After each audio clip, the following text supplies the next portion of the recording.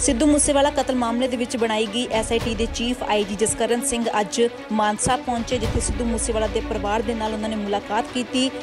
ਪਿੰਡ ਮੂਸਾ ਦੇ ਵਿੱਚ ਉਹਨਾਂ ਦੇ ਵੱਲੋਂ ਇਹ ਮੁਲਾਕਾਤ ਕੀਤੀ ਗਈ ਹੈ। ਜਦ ਦੱਸਦੀ ਕਿ ਬੀਤੇ ਕੱਲ ਹੀ ਸਿੱਧੂ ਮੂਸੇਵਾਲਾ ਦੇ ਮਾਪਿਆਂ ਦੇ ਵੱਲੋਂ ਇੱਕ ਮਹੀਨੇ ਦਾ ਅਲਟੀਮੇਟਮ ਦਿੱਤਾ ਗਿਆ ਕਿ ਜੇਕਰ ਇਨਸਾਫ ਨਾ ਮਿਲਿਆ ਤਾਂ ਉਹ ਆਪਣੀ ਜੋ ਕੰਪਲੇਂਟ ਹੈ ਵਾਪਸ ਲੈ ਲੈਣਗੇ ਅਤੇ ਦੇਸ਼ ਛੱਡ ਕੇ ਚਲੇ ਜਾਣਗੇ। ਜਿਸ ਦੇ ਬਾਅਦ ਸੀਐਮ ਮਾਨ ਦਾ ਵੀ ਇਸ ਬਾਰੇ ਬਿਆਨ ਆਇਆ ਹੈ ਕਿ ਹਰ ਪਾਸੇ ਤੋਂ ਜੋ ਕਾਰਵਾਈ ਹੈ, ਉਹ ਹੋ ਰਹੀ ਹੈ। ਹਰ ਰੋਜ਼ ਗ੍ਰਿਫਤਾਰੀਆਂ ਹੋ ਰਹੀਆਂ ਨੇ। ਇਸ ਮਸਲੇ ਦਾ ਹੱਲ ਜ਼ਰੂਰ ਕੱਢਿਆ ਜਾਏਗਾ। ਕਿਸੇ ਵੀ ਤਰੀਕੇ ਦੀ ਦੇਰੀ ਸਰਕਾਰ ਦੇ ਵੱਲੋਂ ਨਹੀਂ ਕੀਤੀ ਜਾ ਰਹੀ। ਦੱਸਦੀ ਕਿ ਉੱਥੇ ਹੀ ਪੰਜਾਬ ਪੁਲਿਸ ਦਾ ਵੀ ਬਿਆਨ ਸਾਹਮਣੇ ਆਇਆ ਕਿ ਇਸ ਕੇਸ ਦੇ ਵਿੱਚ ਹਰ ਤੱਥ ਸਾਹਮਣੇ ਲਿਆਉਣ ਦੀ ਕੋਸ਼ਿਸ਼ ਕੀਤੀ ਜਾ ਰਹੀ ਹੈ ਅਤੇ ਨਾਲ ਦੀ ਨਾਲ ਹਰ ਗੱਲ ਜੋ ਸਿੱਧੂ ਮੂਸੇਵਾਲਾ ਦੇ ਪਰਿਵਾਰ ਦੀ ਹੈ, ਉਹ ਵੀ ਸੁਣੀ ਜਾ ਰਹੀ ਹੈ। ਇਸੇ ਵਿੱਚ ਦਰਮਿਆਨ ਜੋ ਐਸਆਈਟੀ ਦੇ ਚੀਫ ਨੇ ਆਈਜੀ ਜਸਕਰਨ ਸਿੰਘ, ਉਹ ਪਿੰਡ ਮੂਸਾ ਪਹੁੰਚੇ, ਜਿੱਥੇ ਸਿੱਧੂ ਮੂਸੇਵਾਲਾ ਦੇ ਮਾਪਿਆਂ ਨਾਲ ਉਹਨਾਂ ਦੇ ਵੱਲੋਂ ਗੱਲਬਾਤ ਕੀਤੀ ਗਈ ਹੈ ਅਤੇ ਉਹਨਾਂ ਨੂੰ ਭਰੋਸਾ ਦਿਵਾਇਆ ਹੈ ਕਿ 100% ਇਨਸਾਫ ਇਸ ਮਾਮਲੇ ਦੇ ਵਿੱਚ ਮਿਲੇਗਾ। ਸਿੱਧੂ ਮੂਸੇਵਾਲਾ ਕਤਲ ਮਾਮਲੇ ਦੇ ਵਿੱਚ ਬਣਾਈ ਗਈ ਐਸਆਈਟੀ ਦੇ ਚੀਫ ਆਈਜੀ ਜਸਕਰਨ ਸਿੰਘ ਅੱਜ ਮਾਨਸਾ ਪਹੁੰਚੇ, ਜਿੱਥੇ ਸਿੱਧੂ ਮੂਸੇਵਾਲਾ ਦੇ ਪਰਿਵਾਰ ਦੇ ਨਾਲ ਉਹਨਾਂ ਨੇ ਮੁਲਾਕਾਤ ਕੀਤੀ।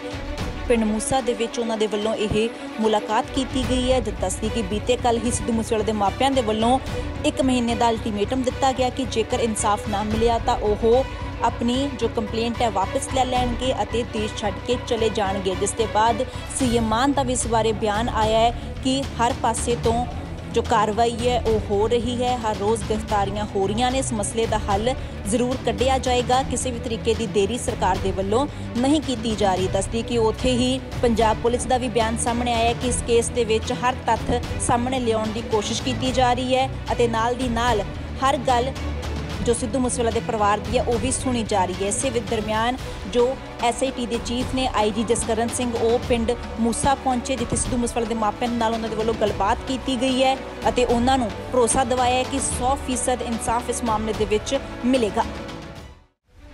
ਸਿੱਧੂ ਮੂਸੇਵਾਲਾ ਕਤਲ ਮਾਮਲੇ ਦੇ ਵਿੱਚ ਬਣਾਈ ਗਈ ਐਸਆਈਟੀ ਦੇ ਚੀਫ ਆਈਜੀ ਜਸਕਰਨ ਸਿੰਘ ਅੱਜ ਮਾਨਸਾ ਪਹੁੰਚੇ, ਜਿੱਥੇ ਸਿੱਧੂ ਮੂਸੇਵਾਲਾ ਦੇ ਪਰਿਵਾਰ ਦੇ ਨਾਲ ਉਹਨਾਂ ਨੇ ਮੁਲਾਕਾਤ ਕੀਤੀ।